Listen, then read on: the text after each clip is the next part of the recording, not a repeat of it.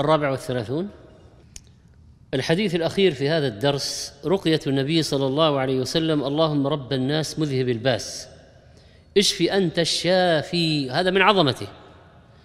لا شافي إلا أنت شفاء لا يغادر سقما. رواه البخاري.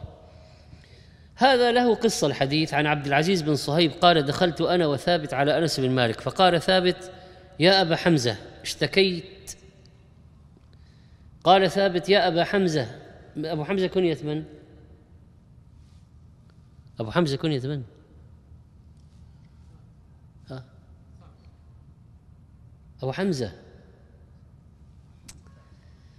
كنية أنس بن مالك قال ثابت يا أبا حمزة اشتكيت الحين ثابت يشتكي لأنس رضي الله عنه فيقول يا أبا حمزة اشتكيت فقال أنس رضي الله عنه ألا أرقيك برقية رسول الله صلى الله عليه وسلم؟ قال بلى. فذكر الحديث. وعن أم المؤمنين رضي عائشة رضي الله عنها قالت كان النبي صلى الله عليه وسلم يعوذ بعضهم يعوذ بعضهم. يمسحه بيمينه. طبعا المسح باليمين تفاؤل بزوال العلة. واليمين لها فضل على الشمال. طيب ماذا كان عليه الصلاة والسلام يقول في التعويذ؟ أذهب الباس رب الناس واشف أنت الشافي. لا شفاء إلا شفاؤك شفاء لا يغادر سقما لا يغادر يعني لا يترك.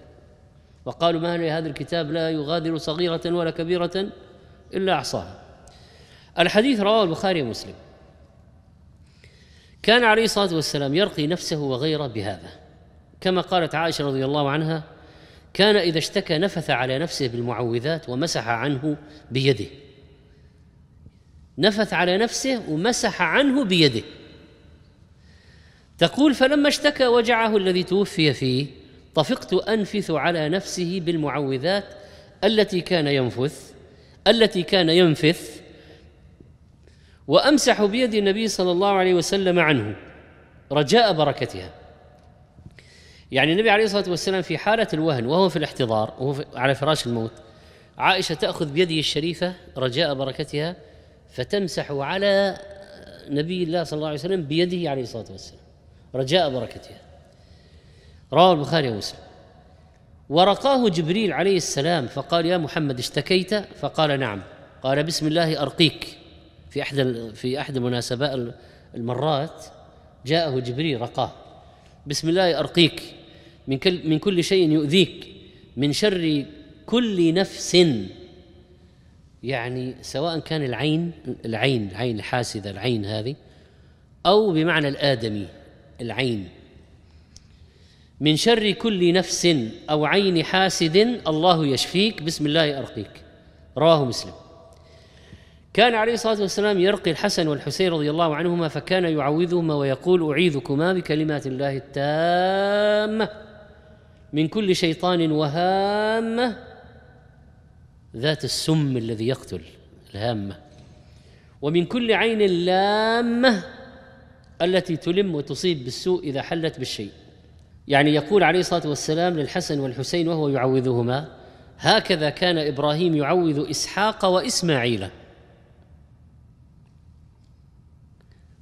ابنيه عليهم السلام رواه البخاري والترمذي ولفظ له. ومسح النبي صلى الله عليه وسلم بعض أعضاء جسد المريض بيده الشريفة كما فعل مع سعد رضي الله عنه في مرضه فوضع يده على جبهته ثم مسح يده على وجهه وبطنه ثم قال اللهم اشف سعدا وأتمم له هجرته. رواه البخاري ومسلم. علمنا النبي عليه الصلاة والسلام أن نرقي أنفسنا ضع يدك على الذي تألم من جسدك. وقل بسم الله ثلاثا. وقل سبع مرات أعوذ بعزة الله وقدرته من شر ما أجد وأحاذر رواه مسلم. فالله عز وجل من عظمته وعزته وربوبيته أنه هو الشافي وحده. الشفاء بيده. لا شافي إلا هو لا طبيب ولا خبير ولا استشاري. الشافي هو الله يقدر الأسباب وإذا مرضت فهو يشفين. يقول الإمام بن عبد البر رحمه الله فالبرء ليس في وسع مخلوق أن يعجله قبل أن ينزل أو أن يقدر وقته وحينه. قال وقد رأينا المنتسبين إلى علم الطب يعالج أحدهم رجلين وهو يزعم أن علتهما واحدة في زمن واحد وسن واحد وبلد واحد وربما كان أخوين توأمين غذاؤهما واحد فعالجهما بعلاج واحد فيفيق أحدهما ويموت الآخر. أو تطول علته ثم يفيق عند الأمد المقدور له. هذا كتاب التمهيد لابن عبد البر. لذلك النبي عليه الصلاة والسلام توسل في هذه الرقية إلى الله بكمال ربوبيته. اللهم رب الناس وكمال رحمته بالشفاء. أذهب الباس مذهب الباس مذهب الباس. وأنه وحده الشافي وأنه لا شفاء إلا شفاؤه فتضمن التوسل إليه بتوحيده وإحسانه وربوبيته. زاد المعاد. فالمريض يتوسل إلى الله بربوبيته العامة اللهم رب الناس ان الله الخالق المالك المدبر.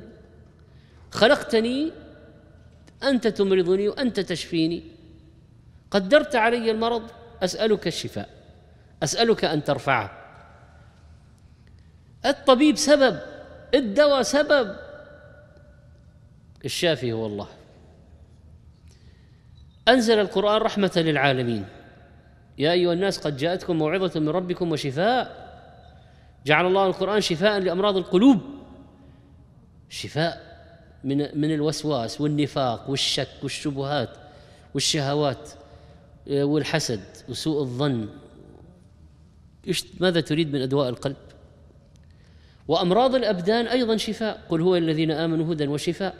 وننزل من القرآن ما هو شفاء ورحمة للمؤمنين. كل القرآن شفاء. والمعوذتان أفضل ما يتعوذ به. والفاتحة آه، هل تقاوم الجراثيم كلام رب الأرض والسماوات؟ ولذلك الاستشفاء بالقرآن عبادة عظيمة لأن فيها لجوء إلى الله بكلامه. لجوء إلى الله بكلامه. استشفاء بكلامه. هذا هذا أعظم الأدوية. أعظم الأدوية. ولذلك حتى سواء كانت الأمراض يعني حسية معنوية قلبية نفسية جسدية العلاج ينفع فيها كلها. القرآن. ما انزل الله داء إلا انزل له شفاء منه هذا القرآن. لكل داء دواء فإذا أصيب دواء الداء برأ بإذن الله. وأنزل الله أدوية حسية. وأخبرنا عن مكامن للأدوية. الحبة السوداء والعسل والحجامة والسنة والسنوت والعود الهندي والقسط البحري فيه كل أخبرنا عن مكامن مكامن للأدوية. والرقية علاج عظيم. ولا تفريق ترى ما يجي واحد يقول أنا أصبت بمرض أستعمل القرآن ولا أروح للمستشفى؟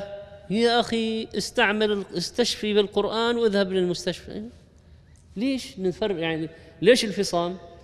ارقي نفسك واذهب للطبيب. ارقي نفسك سوي عملية. ارقي نفسك وابلع حبوب الدواء. ما في تعارض. ما في تعارض. ترى القرآن يعني يعني ما يضر لا يضر. هذه الأدوية تتضارب مع بعض. أدوية أهل الدنيا. أما هذا الرباني الرباني هذا هذا ما يضر. ولا يتضارب مع شيء.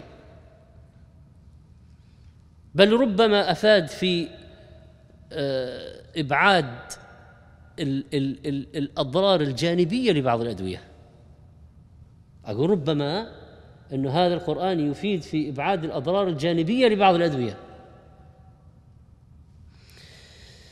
ولذلك اجمع بينهما يا عبد الله ولا تقل هذا أو هذا وقد لا يوجد علاج أصلا عند الأطباء. قد يقولون لك ميؤوس ما نعرف ما عندنا ما ما وصل علمنا إلى شيء.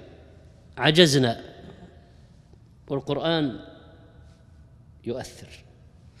نسأل الله سبحانه وتعالى أن يشفينا وأن يتوب علينا وأن يرزقنا العافية والعفو.